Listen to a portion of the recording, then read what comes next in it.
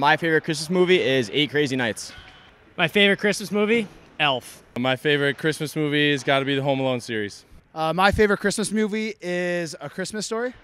My favorite Christmas movie probably has to be the uh, original Rudolph the Red-Nosed Reindeer with uh, the little elf that just wants to be a dentist. My favorite Christmas movie's got to be The Home Alones. My favorite movie has to be Jingle All the Way.